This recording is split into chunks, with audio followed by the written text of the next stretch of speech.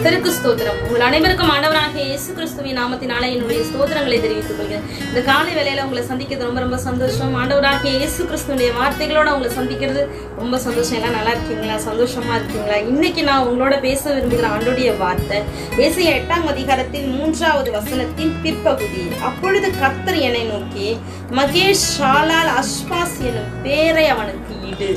இது யார்கிட்ட சொல்றாங்கன்னு பாத்தீங்கன்னா ஏசையா தீர்க்கதரிசி கிட்ட ஆண்டவராகிய தேவன் பேசுறாரு.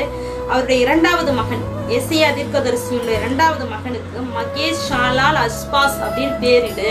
அப்படின்னு சொல்றாரு. இப்ப தொடர்ந்து வருகிற நாட்களாக முன்னறிவிக்கப்பட்டவர்களுடைய பேரை நம்ம தெரிஞ்சுக்கிட்டு இருக்கோம். முதல் நாள் இஸ்மவேலை குறிச்சு ரெண்டாவது நாள் ஈசாக்க குறிச்சு மூன்றாவது நாள் சாலமோன் ராஜாவை குறித்து நான்காவது நாள் ஓசியா ராஜாவை குறிச்சு இன்னைக்கு நம்ம தெரிஞ்சுக்க போறது ஏசையா தீர்க்கதரிசனுடைய இரண்டாவது மகன். இவருடைய பேர் கூட பிறக்கிறதுக்கு முன்னாடியே வச்ச பேர் தான் மகேஷ் ஷாலால் அஷ்பாஸ் அப்படிங்கிற பேர் வைக்கிறாங்க.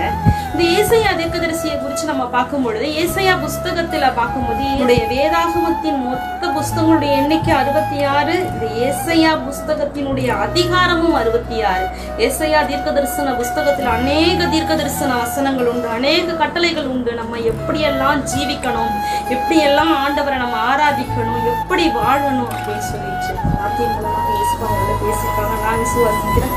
ஆண்டவர் உங்களை ஆசீர்வதிப்பார்.